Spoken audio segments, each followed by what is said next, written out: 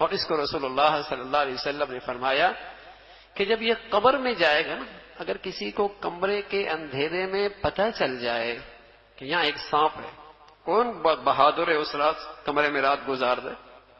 अंधेरा भी है और पता हो कि एक सांप है। और ये ज़रूरी नहीं कि वो डसे भी सही। हो सकता है ना डसे? और हो सकता है इस पे हमला आवर ना हो, लेकिन रात नहीं गुजारेगा। नहीं गुजारेगा। और सच्चे नबी ने बताया है, जो शख्स जक़ात नहीं देगा, कब्र के उस अंधेरे कमरे के अंदर सिर्फ़ सांप नहीं होगा, बल्कि गंजा होगा। इतना जहरीला होगा कि उसके सर के बाल उड़ गए होंगे।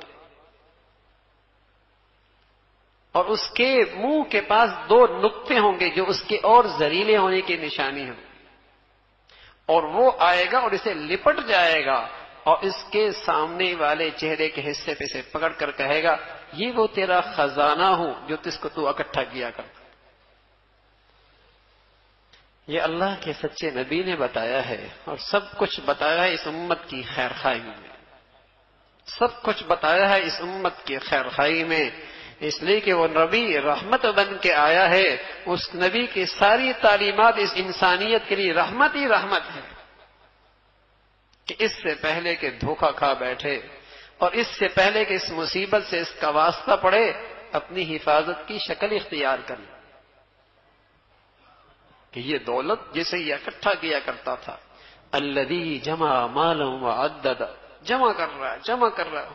और इतनी हवस है, रोज गिनता है, कितने हो गए, रोज गिनता है, कितने हो गए? अल्लदी जमा मालूम अद्दद। यह सब अन्न मालहू अखलद। ऐसा दौलत से कुछ इसका दिल लगा है, जैसा लगता है ये हमेशा दौलत इसे साथ रखेगी। अल्लाह ना ना, ऐसा नहीं हो।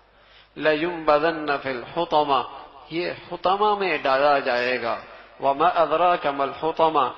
जानते भी हो, ये हुतमा है क्या चीज़?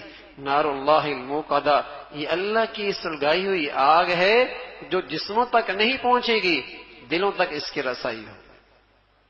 ये वो है अल्लदी जम माल आदद माल इकट्ठे कर रहे करते चले जा रहे हैं माल इकट्ठा।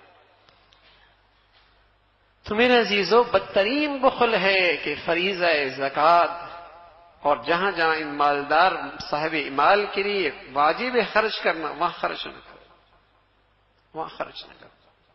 ये दौलत इसके लिए मुसीबत है। ये दौलत इसके लिए मुसीबत तो फिर अजीजों, अगर इस दौलत को पाक करना है, इस माल को पाकिजा बनाना है, इस माल को मुबारक बनाना है तो फ़िक्र हो कि इसमें अल्लाह का हक बाकी न रहे। इसमें अल्लाह के बंदों का हक बाकी न रहे। कल क्यामत में अल्लाह के बंदे इससे मुतालबा करेंगे अपने हक का कि दुनिया में इन्होंने हमारा हक अदा नहीं किया। मखलूक का हक है। अल्लाह ने इस दुनिया के अंदर बाज लोगों को अपना मखजन बनाया होता है, जिन्हें अल्लाह अपनी नियमतें देता है और उनके वास्ते से उम्मत में, मखलूक में वो चीज़ें तकसीम होती रहती हैं। जब तक ये तकसीम करता रहता है, अल्लाह भी देता रहता है और जब ये उगताने लगता है, अल्लाह भी इससे ये तौफीक और ये दौलत छीन लेता है। ये तो खुश नसीब है।